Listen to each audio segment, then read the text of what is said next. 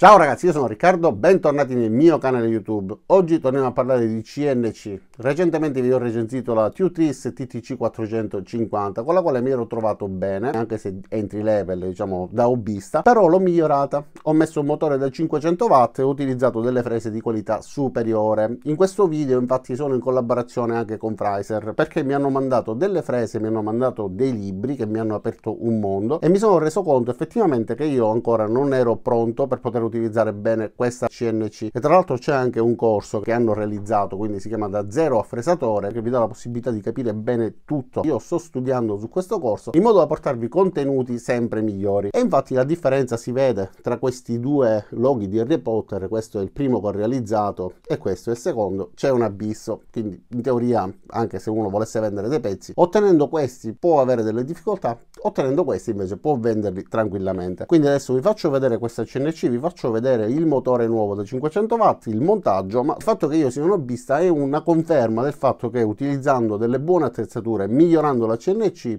anche chi non è un professionista può riuscire a ottenere dei buoni risultati. Diciamo anche in poco tempo, perché io ho seguito una parte di questo corso, ho letto questo libro, ho letto anche dei manuali che mi hanno mandato in cui ci sono tutte le varie informazioni su come capire parametri e effettivamente mi sono accorto che tante cose le sbagliavo. Andavo a intuito, ho visto qualche video online, effettivamente ci sono diversi video in cui viene spiegato l'utilizzo della CNC, ma non possono trattare tutti gli argomenti come un corso. Quindi se siete interessati io vi lascerò anche il link al corso in modo da poter imparare sia per i professionisti che per gli hobbisti tantissime cose. Ora cambiamo inquadratura, vi faccio vedere appunto questa CNC, vi faccio vedere le frese, vi faccio vedere quello che sono riuscito a ottenere nei miei esperimenti perché ancora sono in fase di sperimentazione e sono riuscito a fare delle fresate con delle frese da un quarto di pollice, quindi da 6 mm, sul legno, sull'iroko e sono riuscito a ottenere dei risultati che prima per me con una CNC entry level come questa erano impensabili. Quindi iniziamo. Innanzitutto diamo un'occhiata al motore, questo è sempre della Tutris da 500 watt e con questo finalmente ho la possibilità di utilizzare anche delle fese più grandi senza problemi perché è un motore molto più potente che mi dà la possibilità di sottoporlo a sforzi maggiori. Abbiamo anche questa parte in metallo che sostiene molto meglio il motore quindi evita delle vibrazioni, non che prima fossero presenti ma è sempre una CNC da hobbista quindi diciamo che con un motore di questo tipo è un'evoluzione, è una miglioria. E vi farò vedere anche il montaggio dello stesso che è semplicissimo perché prevede lo smontaggio del mandrino precedente, l'applicazione di un pezzo che serve a sostenere questa parte metallica e poi ovviamente bisogna semplicemente avvitare il motore collegando il cablaggio che viene comunque collegato poi ad un alimentatore che ci permette di alimentarlo mantenendo comunque l'alimentazione originale della CNC. Abbiamo un alimentatore a parte per questo motore perché è potente e richiede quindi un'alimentazione specifica. Quindi la fase di montaggio molto semplice semplice, veloce, ma con un risultato che stravolge completamente la vostra macchina. Questi infatti sono i pezzi che ho ottenuto. Allora, questo lo ricorderete, è il primo che ho realizzato e alla fine della realizzazione c'era tutta la superficie rovinata e ho dovuto pulirlo con un po' di carta vetrata, ma guardate, sono ancora presenti alcune sfilacciature quindi nonostante questa, questo logo di Harry Potter mi piaccia, sia effettivamente di mio gradimento, mi sono reso conto che questo risultato poteva essere migliorato senza dubbio con delle frese di buona qualità. Questo infatti è il nuovo logo. Guardate che differenza e considerate che ho utilizzato una fresa che va bene sia per le incisioni 2D che 3D. Se avessi utilizzato una fresa a candela di piccola dimensione, anche la base sarebbe venuta molto meglio, ma comunque sono comunque soddisfatto perché io ancora sto studiando per poter imparare bene i parametri parametri e nonostante sia ancora agli inizi, grazie al corso e a questi manuali, sono riuscito ad avere dei miglioramenti incredibili. Allora, queste invece sono le frese della Fraser, della linea Boss Beaver, che hanno pure un rivestimento diamantato, sono particolari, guardate la qualità, vi faccio una zoomata, sembrano quasi dei gioielli queste frese, sono davvero ottime con dei taglienti affilatissimi, che vanno bene anche per l'hobbista perché sono delle frese fatte bene, durano molto di più di quelle standard, ragazzi. Io dietro a questi avvitatori ho una marea migliaia di scatoline di frese e fresettine che alla fine si sono rotte più della metà, insomma non, mi hanno mai soddisfatto e attribuivo a una mia colpa il risultato che non mi piaceva perché questo risultato, questa parte rotta, pensavo di sbagliare qualcosa, effettivamente non conoscendo i parametri sbagliavo qualcosa, ma sbagliavo anche nell'utilizzo della fresa perché una fresa che non è di buona qualità non ci dà lo stesso risultato di una fresa di buona qualità. E tra l'altro acquistando queste frese, dopo che le avete fatto l'ordine, potrete entrare nel vostro account e scaricare tutti i parametri per poterle utilizzare nel migliore dei modi, anche se poi in base al tipo di macchina dovete sempre gestire il tutto in base alle prestazioni che avete. Per esempio questa macchina ha dei movimenti limitati da 800 mm al minuto, invece le macchine professionali arrivano fino a 3-4 metri al minuto, quindi capite che c'è delle differenze anche per quanto riguarda la velocità di rotazione del mandrino. Con questo, nonostante la potenza maggiore, abbiamo 12.000 giri, invece alcune macchine arrivano a 18.000, insomma sono velocità differenti. In quel caso, grazie anche ai manuali e al corso, riuscite a capire come regolare i parametri in proporzione in modo da ottenere super giù gli stessi risultati. Ovviamente migliore la macchina, migliori saranno i risultati. Ma guardate, io ho ottenuto delle fresate da 6 mm sull'Iroco dopo aver fatto diversi esperimenti anche su altri materiali e questa volta dopo aver fatto diverse prove, anche nella parte posteriore ci sono degli esperimenti, guardate che differenza fra queste che sono le ultime e queste che sono le prime, dove ancora non conoscevo bene i parametri, non avevo studiato bene e ho avuto un'ottima differenza, cioè queste fresate mi piacciono mentre queste non mi piacciono. È un lavoro finito con questo risultato, anche se ancora migliorabile, perché ripeto, io sono un hobbista che sta studiando, mi piacciono ma posso ottenere ancora di più. E tutto questo grazie sia al motorino che ho sostituito, che a queste frese che sono di buona qualità e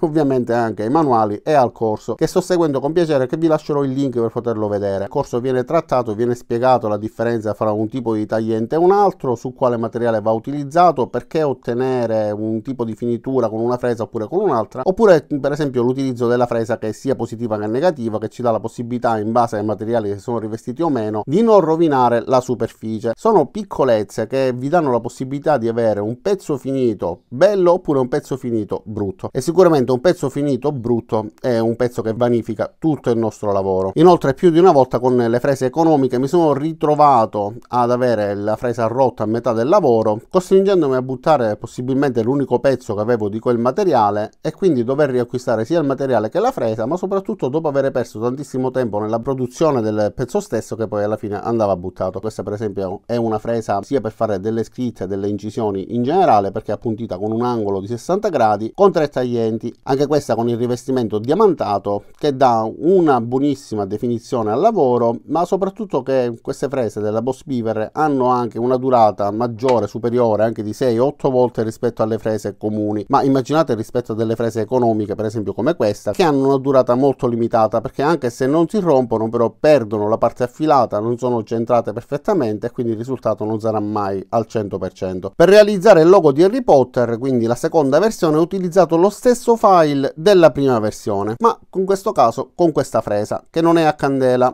quindi abbiamo questa fresa che va bene sia per le incisioni 2D che per le incisioni 3D, solo che ovviamente essendo leggermente conica anche le incisioni avranno questo angolo e non essendo a candela ovviamente sulla base avremo anche qualche piccola rigatura come questa, ovviamente la fresa non è adatta, ma volevo farvi vedere comunque la differenza fra una fresa di buona qualità e una fresa non di buona qualità. La differenza è decisamente abissale. Se avessi utilizzato una piccola fresa a candela sicuramente il risultato sarebbe stato ancora meglio, ma così già sono più che soddisfatto soddisfatto e sono sicuro che continuando a studiare e a migliorare tutte le conoscenze che riguardano la CNC in breve tempo otterrò un risultato eccezionale. Da questa parte invece come vedete ho utilizzato anche la piccola fresa che ci permette di fare gli arrotondamenti sui bordi quindi come se fosse un rifilatore che è ancora montata e che ha questo profilo che permette di ottenere quindi questa parte arrotondata. In questo caso ho utilizzato invece la fresa con l'angolo di 60 gradi che mi ha dato la possibilità di ottenere questa incisione che secondo me è praticamente quasi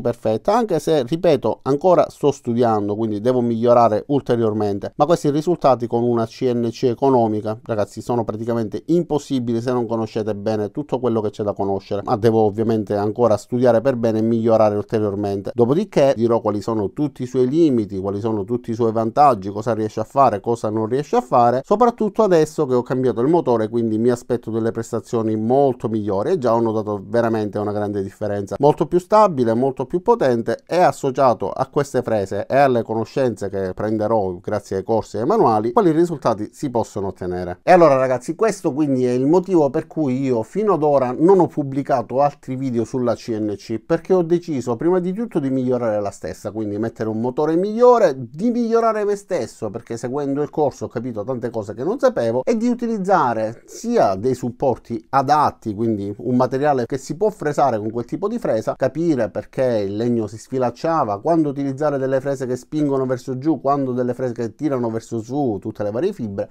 e insomma dei risultati che prima non mi piacevano, non venivano bene e che adesso invece mi piacciono sono venuti bene. Questo per esempio si potrebbe vendere questo non credo proprio che si possa vendere, va bene se volete farlo per voi, tenerlo in casa. Poi si crea una cultura personale che ci dà la possibilità di capire intuitivamente quali siano i parametri adatti, facendo anche delle proporzioni matematiche. E su questi manualetti, su questo corso, eccetera, trovate tutto quello che vi serve per riuscire appunto a essere autonomi, mettervi davanti alla macchina, vedere il pezzo, ovviamente fare qualche prova, perché non saprete mai come reagisce poi la fresa sul legno che state lavorando, soprattutto se è un'essenza nuova che non avete mai lavorato. Fate delle prove fino a quando capite che il pezzo vi soddisfa, la fresatura viene bene, allora avete trovato i parametri corretti, ma già dovete conoscere quali sono le varie impostazioni. Infatti, per esempio, per la Tornado io non vi sto parlando di questa fresa perché metterla su un rifilatore, su una fresa e spianare un pezzo di legno, ragazzi, sanno farlo tutti. Io invece sto studiando perché voglio parlarvene bene, voglio farvi vedere tutte le varie applicazioni, voglio sapervene parlare, metterla sul router, spingere, fare una spianatura, lo trovo sì bello da vedere, ma poco utile per chi vuole imparare. Quindi questa la rimandiamo a un prossimo video, come rimandiamo ai prossimi video tutte le varie lavorazioni che potrò presentarvi dopo che avrò finito di,